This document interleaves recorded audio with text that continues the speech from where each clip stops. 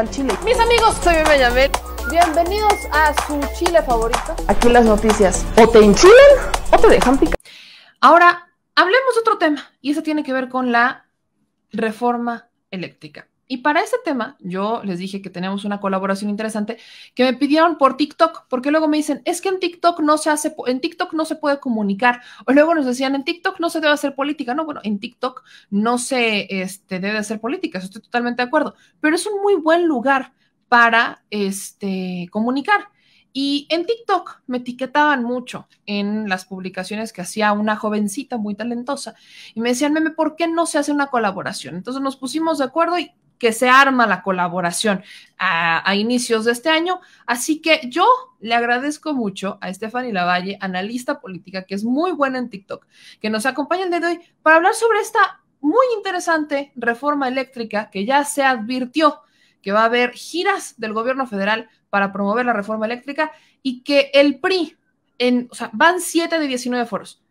Y en este foro, el PRI dice que puede que sí, exista un acuerdo por la reforma eléctrica. O sea, en otras palabras, el PRI podría estar dando su bracito a torcer. Mi querida Stephanie Lavalle, ¿cómo estás? Buenas noches.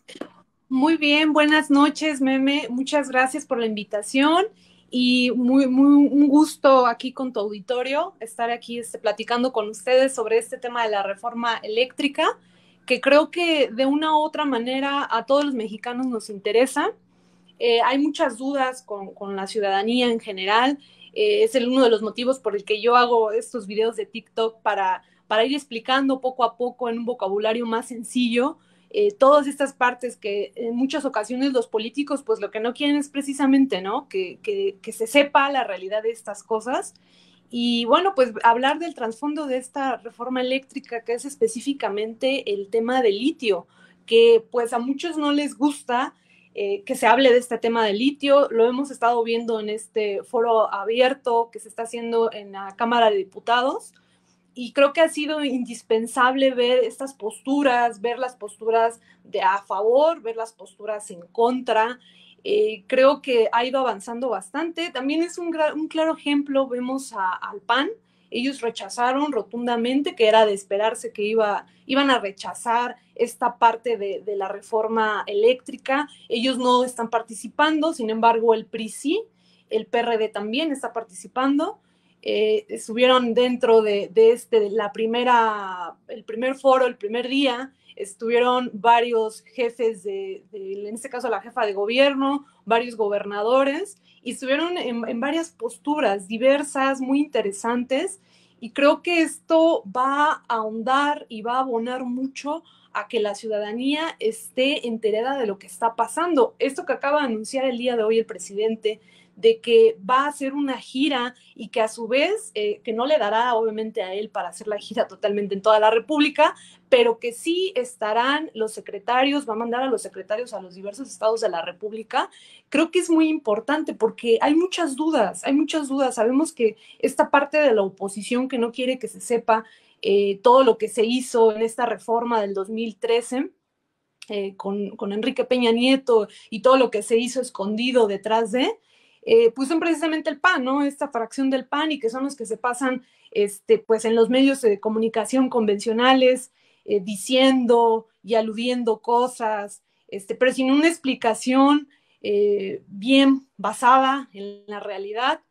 Ahorita traen un argumento, y lo vemos en, en, este, en estos foros abiertos, traen un argumento muy, muy, muy antiguo, que es el mismo que estuvieron manejando precisamente en el 2013, que era que iban a bajar los costos de, la electricidad para, para, los ciudadanos. Y bueno, ya tenemos nueve años y no vemos, no vemos esos grandes beneficios de esta gran reforma que en su momento nos las pintaron así del 2013 y que ahora actualmente pues seguimos este, pagando mucho y, lo hemos visto, ¿no? Los ciudadanos no vemos en nuestros bolsillos un beneficio de aquella reforma y sin embargo siguen ellos en esta, en esta postura, este, pues, ¿por qué, ¿por qué no decirlo? Necia, ¿no? Salió apenas Marco Cortés a decir que, que van a lanzar una contrarreforma este, eléctrica, pero yo digo, bueno, en su momento ellos ya la, ya la lanzaron en el 2013, ya la aprobaron, ¿Qué, qué, pueden apoyar a esto, ¿no? ¿Qué pueden abonar a, esta crítica?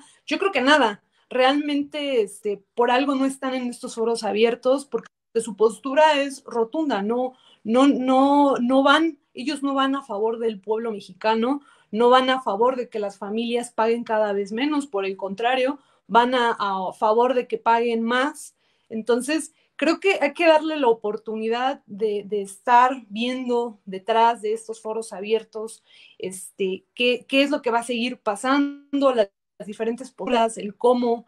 Eh, y bueno, pues también ver a los secretarios de Estado eh, de gira por toda la República y por qué no nosotros desde, desde nuestras pequeñas trincheras ir abonando y también ir investigando, ir, ir comunicando de una u otra manera a las personas que, desconocen ¿no? estos temas tan técnicos, tan jurídicos, porque desafortunadamente eh, pues los políticos son, son especiales y son especialistas en enredarnos, en, decirnos temas este, muy técnicos, muy especiales y muy todo, pero que los ciudadanos de pie a veces no lo entendemos. Entonces creo que estos canales, este, como lo es este canal, tu canal, eh, nos permite a los ciudadanos entender con un vocabulario más sencillo, no tan especializado, eh, poder entender esta parte, ¿no? Y lo mismo que yo intento hacer en TikTok es explicar este, con palabras rápidas en videos muy cortos cómo cómo está este, este, tema de la reforma eléctrica, el tema del litio. El litio es realmente el corazón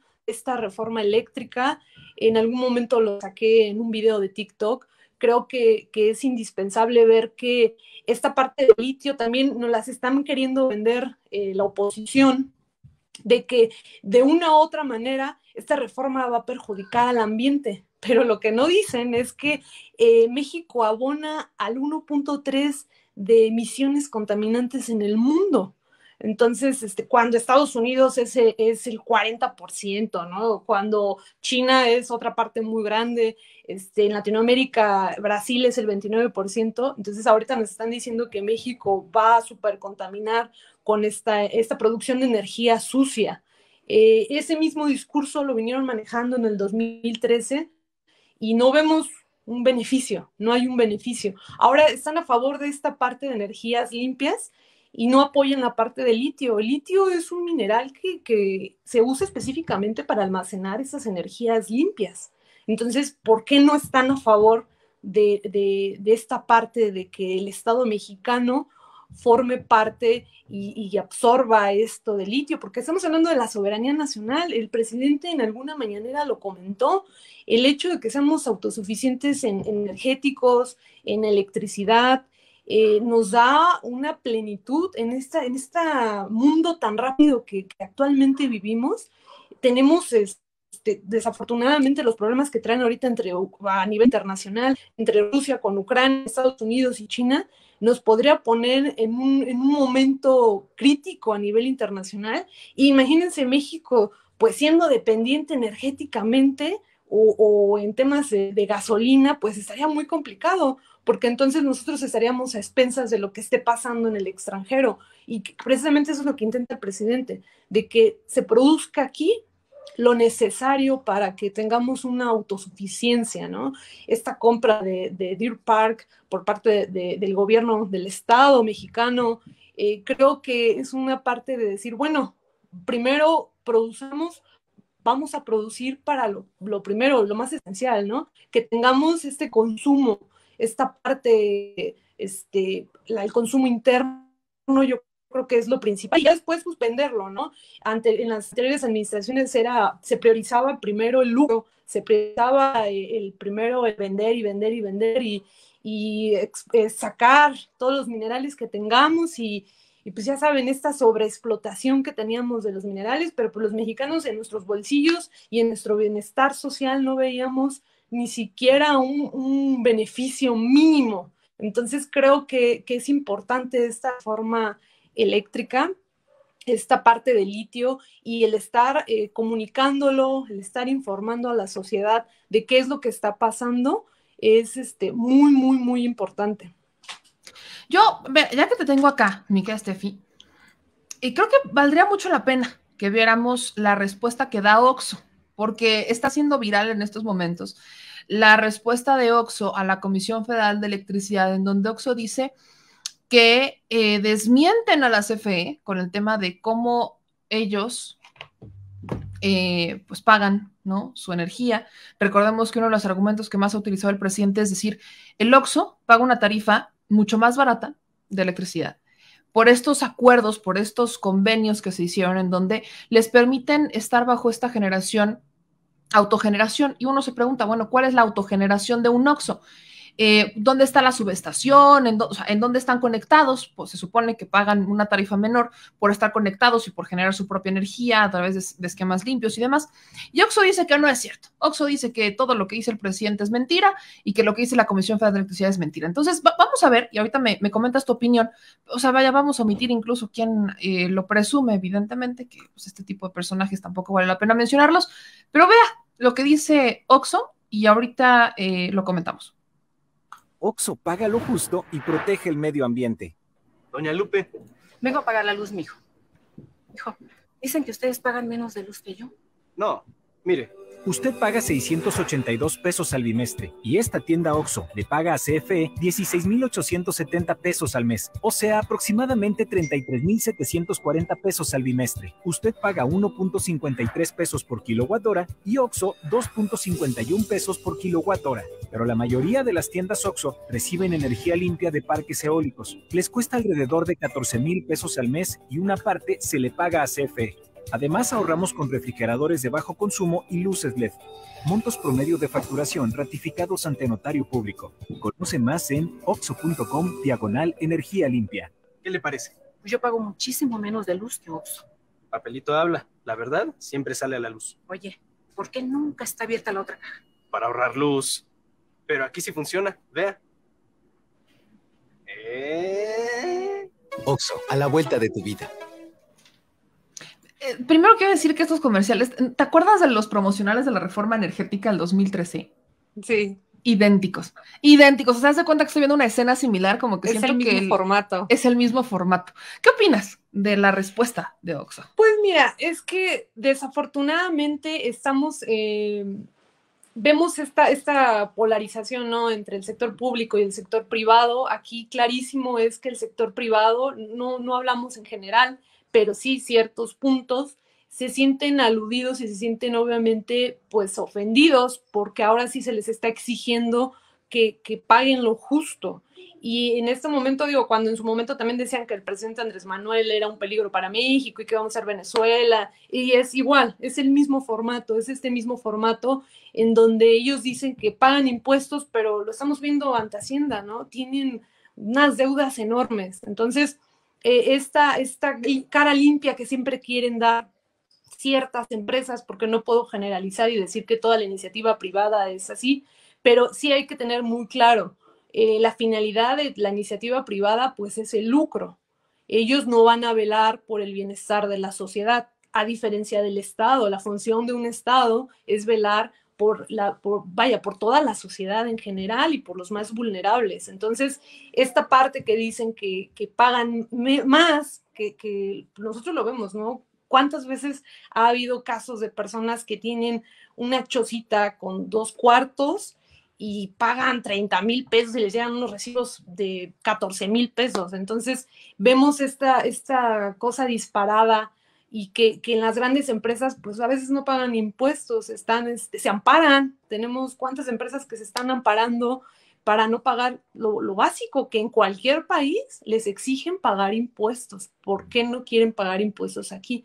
Entonces, vuelvo a decirlo, no es toda la iniciativa privada, hay empresas muy responsables, socialmente muy responsables, pero sin embargo hay otras que pues han estado... Eh, se han hecho grandes fortunas al amparo de estos gobiernos, de estas, de estas anteriores administraciones, este, pues, ¿por qué no decirlo, no? Al amparo de la corrupción, han lucrado con, con, el, con, el, con las cosas que son y con los recursos que son de, de, pues, del Estado, del pueblo mexicano, y que ahora que ya se les está exigiendo que paguen lo que deben de pagar, pues ya no les gusta y sacan este tipo de promocionales y este tipo de comerciales muy al modo del, del año 2006, cuando todos lo, todo un cierto sector empresarial estaba en contra de Andrés Manuel, algo así. Esto es un ejemplo, ¿no? Es un, vivo ejemplo y no dudo que sigan sacando eh, entre más se acerque eh, ahora para después de, del 5 de junio, porque ya dijeron que, que se piensa ya empezar a, ver el tema de la reforma eléctrica después de las elecciones de este año, eh, pues ya estaremos viendo cada vez más cercano a estas fechas de, cuando ya se vaya a, hablar en el Congreso de esto, eh, pues ya estaremos viendo más de este tipo de promocionales. Yo no dudo verlo ya en, más, más fuerte en las redes sociales, pero yo creo que va a estar más en los medios de comunicación convencionales, que es precisamente donde pues es, es el fuerte, porque esos son los sectores que más aludidos han sentido y que más agredidos han sentido precisamente este, con este movimiento de la cuarta transformación.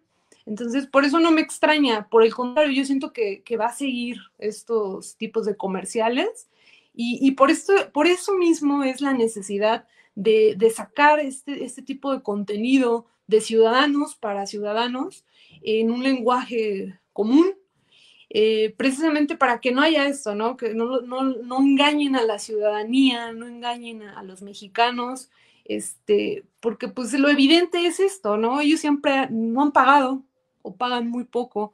Y, y, los mexicanos, los ciudadanos de a pie lo pueden ver en sus recibos, ¿no? O sea, sus recibos son este, altísimos y, y, pues ahí está, ¿no? Tenemos nueve años con esta reforma del 2013 y yo no veo a un vecino, a un ciudadano diciendo, bueno, es que ya yo antes pagaba tanta cantidad y ahora pago la mitad o la cuarta parte, yo qué sé. No, no conozco una persona que me diga eso. Entonces creo que pues por parte de nosotros lo que nos queda es desde nuestras pequeñas trincheras este, estar informando a los ciudadanos sobre todos estos temas que creo que son muy importantes porque son parte de, de una, pues sí, de esta transformación que, que, lleva a cabo la, la, actual administración y de esta transformación porque pues, las cosas de una u otra manera se están haciendo diferentes y tan se están haciendo diferentes que ciertos sectores se están sintiendo pues desde el día uno agredidos. Entonces, y sacan ese tipo de comerciales y los van a seguir sacando. Entonces, pues ese, creo que ese sería el, punto principal. Aparte que hay un dato que obviamente es tendencia el tema del Oxxo y para, o sea, para aderezar y compartir. Vean esto, ¿no? Eh, sacan, no, lo voy a, voy a poner aquí arriba, el de Latinometrics, del 26 de enero. O sea, literalmente en México hay más Oxos que Starbucks en Estados Unidos. Sí, claro. Esto no es coincidencia. O sea, estamos en un país en donde a las empresas se les ha permitido tanto, pero tanto, y se les ha condonado tanto, que literalmente pueden crecer. Yo creo que ese es el debate. Que hoy tenemos una administración que les está poniendo límites, págame los impuestos, págame lo justo de luz, o sea, paga por lo que generas. No te estoy pidiendo que pagues más, estoy pidiendo que pagues por lo que utilizas y que pagues y que retribuyas por lo que utilizas y lo que generas, como cualquier ciudadano con obviamente los regímenes distintos en ESAT y demás. Pero vaya, estamos hablando de algo que es justo. Y por no haberlo aplicado en México, el hecho de que tengamos tantos oxos también le ha pegado y sobre todo le ha pegado a nuestros, a, a nuestros, a nuestras tintas de las esquinas. O sea, las, vaya, las tintas de las esquinas, ves que literalmente por cada oxo hay menos de, o sea, un oxo creo que vendría equivaliendo como eso de 10 tienditas. O sea, mm. si quitas un Oxxo, o sea, si, si, si tú quitas un Oxxo perfectamente. Tiendas. Exactamente. Entonces, es incluso lamentable que estas tienditas paguen más luz que un Oxxo. Y cuando no, dicen y, que ellos y... están generando con energías e-, eólicas, yo pregunto, ¿y, ¿y en dónde está el parque eólico? ¿Cómo les transfieren la energía o cómo funciona? Sí, aparte esta parte de, eh, hablando temas de economía local, eh, pues sí lo vemos, ¿no? Lo vemos en, en, aquí en la Ciudad de México, lo vemos en, los estados de la República, que en efecto por cada OXO se van 10 tiendas, porque llega ya el que llega a una colonia, un OXO es las tiendas que están a la redonda, ya están por, por, por quebrar y ellos sí tienen que pagar eh, pues la luz a precios normales, ellos sí tienen que pagar, ¿cómo van a competir contra esto? Pagar luz a precios normales, pagar aparte todo lo que se tiene que pagar en los municipios o en las alcaldías, que son permisos y todo lo que se tenga que sacar, que en este caso ellos, por ser parte de, de una cadena, eh, se excluye mucho de estos permisos. Entonces dices, bueno, cuál es la, la, la, el apoyo ¿no? a la sociedad, eh, cuál es, es la, igualdad. Ellos dicen que pagan más, pero realmente si tú lo comparas con, con una pequeña tiendita, pues por eso las tiendas quiebran, porque no hay manera de competir. Entonces, eh, es muy chistoso, ¿no? Porque estos sectores de, la oposición siempre se quejan de que el gobierno quiere hacer un monopolio de ciertos sectores, de, de los sectores estratégicos que vienen en la Constitución, de, los minerales, de toda esta parte estratégica que tenemos en México, y cómo no se quejan de los monopolios que, que se hicieron eh, al amparo de estos gobiernos anteriores y que estas empresas como es Oxxo de repente crecieron, o sea, en un sexenio se multiplicaron como si fueran, este, pues, una cosa exagerada, empezaron a salir por la tierra y de repente ya teníamos Oxxos por todos lados, pero no es casualidad que hayan tantos Oxxos y que se hayan generado en un, en un periodo de tiempo específico en toda la República, ¿no? Entonces, y, y no nada más quedamos con los Oxxos así, sino también Oxos conjunto a gasolineras. Entonces, eh, aquí vemos cómo todo, todo figuró al amparo de, que el Estado en aquellos tiempos, pues también lucraba en conjunto con, con, estas empresas y que ahora que ya no funciona así porque la lógica ha cambiado, obviamente pues se sienten agredidos, obviamente ya están ofendidos de que tengan que pagar impuestos pero pues no se les está exigiendo nada fuera de lo normal. En cualquier país donde tú vayas a, creer, a querer generar algún negocio, vas a tener que pagar impuestos. Estados Unidos es el vivo ejemplo de ello y por eso también me da mucha risa esta, este, esta parte de, de, de los opositores, donde siempre ponen a Estados Unidos como el estandarte y está bien, pero ¿por qué no ponen como ejemplo que en Estados Unidos si tú no pagas tus impuestos, te vas a la cárcel y cierras tu negocio y todo, ¿no? En cambio aquí no. O sea, aquí tú te puedes dar el lujo de no pagar millones de pesos y todavía te puedes amparar y puedes ganar el amparo. Entonces, y no pagar los impuestos, por supuesto, eh, en, en, en, perjuicio de, del, del erario público. Entonces, ahí te das cuenta que Aquí, ah, desafortunadamente, la iniciativa privada, no, no toda la iniciativa privada, repito, pero sí hay un grupo élite de la iniciativa privada, que es precisamente la que saca este tipo de comerciales, pues están así, con, con, las manos así precisamente porque pues ya sintieron que ahora sí hay que pagar impuestos, ahora sí hay que pagar lo justo por la luz. Entonces, por eso es que ahorita están eh, diciendo esta parte de, la, de, las energías limpias y de que se va a contaminar. Y, y bueno, el tema del litio también, muchísimas cosas, un, un mundo de desinformación con tal de no pagar sus impuestos, con tal de no pagar lo que deben de pagar, que pagarían en cualquier otro país, si estos negocios los llevan a otro país, pero en su país no lo quieren pagar. Entonces, eso es muy irónico, la, métrica y la, lírica que traen estas grandes empresas es, este, pues, es risible. Para ti, este, ¿qué sería lo más importante de la reforma eléctrica? ¿Qué es lo que la gente debe de tener en mente cuando se habla de la contrarreforma energética de Enrique Peña Nieto, cuando se habla de esta reforma histórica para proteger la soberanía energética de este país? ¿Qué es lo más importante? Lo más importante es que va a regresar eh, una gran parte de en la reforma anterior. Se tenía el mayor porcentaje en el tema eléctrico, eh, así pasó en la del 2013, a la iniciativa privada y una menor parte a la iniciativa pública, en ese, en ese caso el Estado mexicano.